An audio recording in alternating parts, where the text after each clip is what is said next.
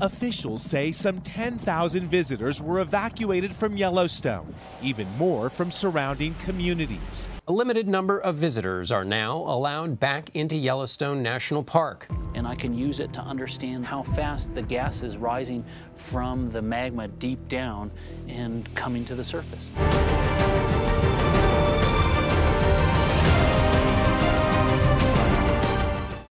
Lying beneath the tranquil settings of Yellowstone National Park in the US lies an enormous magma chamber. It's responsible for the geysers and hot springs that define the area. But for scientists at NASA, it's also one of the greatest natural threats to human civilization as we know it, a potential supervolcano. According to NASA, supervolcanoes are significantly more harmful than asteroids as natural hazards to human civilization. A NASA scientist recently revealed something alarming about the Yellowstone supervolcano, as well as NASA's intentions for it. What exactly is this startling revelation, and how does it affect everyone around the world, particularly those in the United States? In today's video, we'll go through this disturbing revelation in great depth.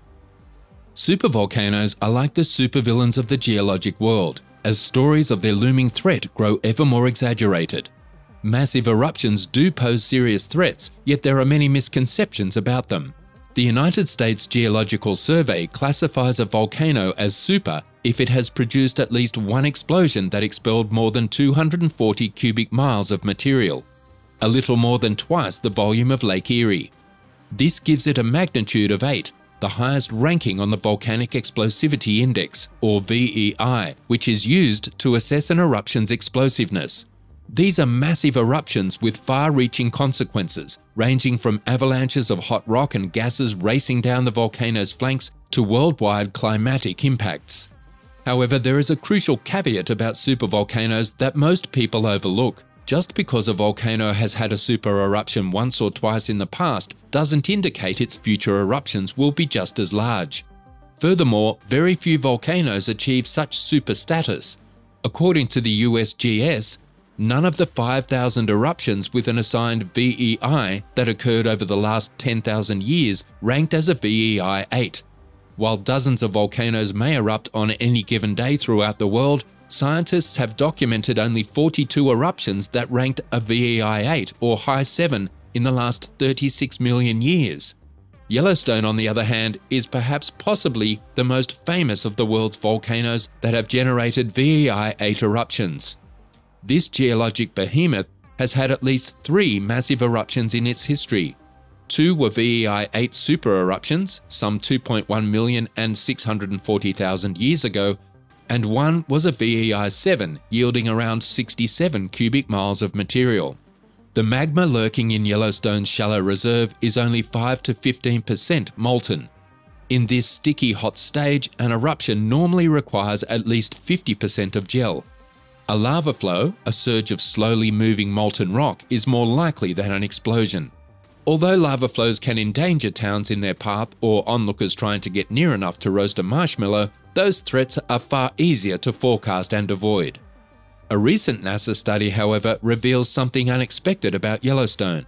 Following the publication of an article about supervolcanoes last month, a group of NASA researchers released a previously unreleased report about the hazard and what could be done about it.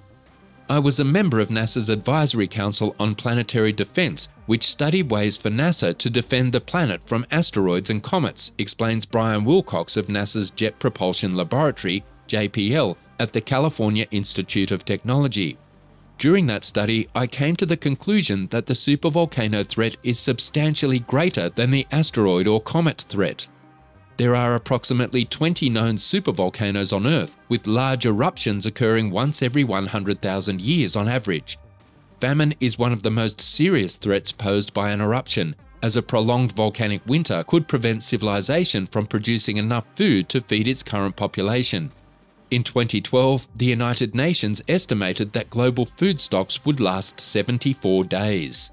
When NASA scientists investigated the problem, they discovered that the most logical solution was to simply cool a supervolcano. A Yellowstone volcano is essentially a massive heat generator, producing enough energy to power six industrial power plants. Yellowstone currently releases 60 to 70% of the heat rising from below into the atmosphere through water seeping into the magma chamber via fissures. The rest settles within the magma, allowing it to dissolve additional volatile gases and minerals. When the temperature rises to a certain level, an explosive eruption is unavoidable. The supervolcano, on the other hand, would never explode if more heat could be extracted. According to NASA, if heat transport from Yellowstone's magma chamber could be increased by 35%, the park would no longer be a hazard. The only question left is how. One solution would be simply add more water to the supervolcano. However, persuading legislators to support such an endeavour would almost certainly be impossible. Building a big aqueduct uphill into a mountainous region would be both costly and difficult, and people don't want their water spent that way, Wilcox says. People are desperate for water all over the world, and so a major infrastructure project where the only way the water is used is to cool down a supervolcano would be very controversial. Instead, NASA has devised an entirely new strategy they believe that digging up to 10 kilometers inside the supervolcano and pumping high pressure water down would be the most feasible option. The circulating water would return at a temperature of around 350 degrees Celsius, 662 degrees Fahrenheit, steadily draining heat from the volcano day by day.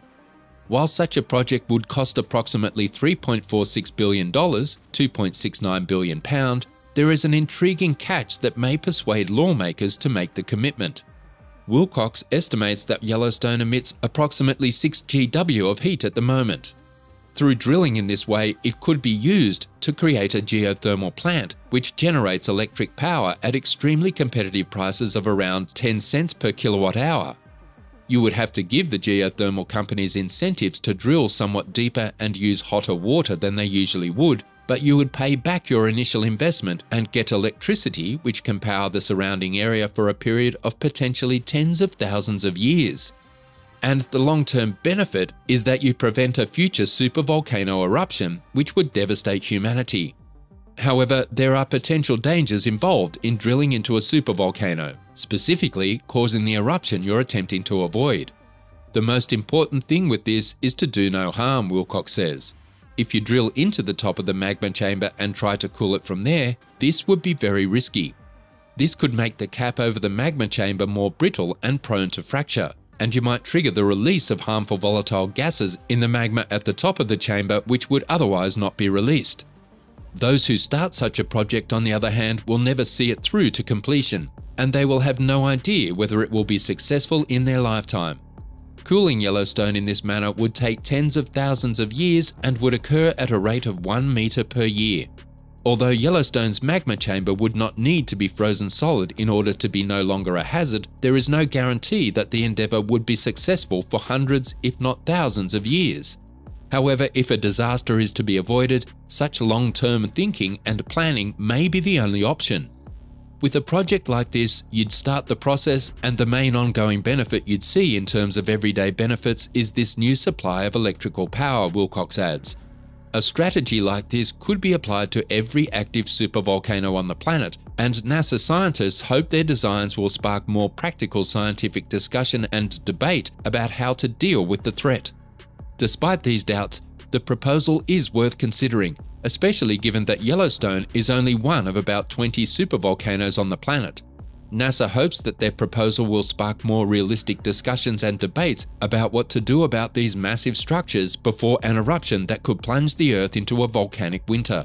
In recent years, geologists have begun to use the term super eruption to refer to explosive volcanic eruptions that eject 10,000 times the amount of magma and ash ejected by Mount St. Helens, one of the most explosive eruptions in recent years. Although such a massive eruption is difficult to imagine, the Earth's surface has preserved clear traces of several massive super eruptions. Many continents have been covered in thick ash layers. Massive hollowed out calderas, craters up to 60 miles or 100 kilometers across, left when a volcano collapses after emptying its entire magma chamber at once, serve as stark reminders of previous super eruptions in Indonesia, New Zealand, the United States, and Chile. The eruptions of these prehistoric supervolcanoes have devastated vast areas. Mount Toba in Sumatra erupted 74,000 years ago, releasing 700 cubic miles, 2,800 cubic kilometers of lava, and leaving a thick layer of ash across the entire region. In comparison, the amount of magma ejected from Mount Krakatoa in Indonesia in 1883, one of the largest documented eruptions, was approximately 3 cubic miles, 12 cubic kilometers. Volcanologists are still trying to find answers to many unanswered questions about supervolcanoes. For example, what causes their eruptions, and why do they wait until their magma chambers reach such enormous volumes before erupting? How does the composition compare to previous well-known eruptions? What can we do to predict when the next supervolcano will erupt? But one thing is certain, while super eruptions do occur, they are incredibly rare, and the chances of one occurring in the lifetime of anyone watching this video are exceedingly small. The most recent super eruption occurred in New Zealand about 26,000 years ago. The next to most recent incident was Mount Toba's devastating eruption roughly 74,000 years ago. Geologists have discovered the traces of around 50 super eruptions, though teams are actively investigating a number of other hypotheses. That may appear to be a large number.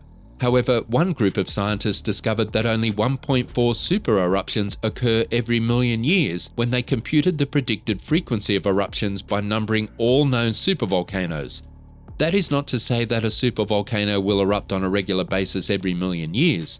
A supervolcano may not erupt for millions of years, or numerous supervolcanoes may erupt in a short period of time. The geological record shows that supervolcanoes form in clusters, but the clusters are not regular enough to predict future eruptions. Will we witness a super eruption in our lifetime? And what do you think of NASA and its study on Yellowstone? Tell us in the comments section.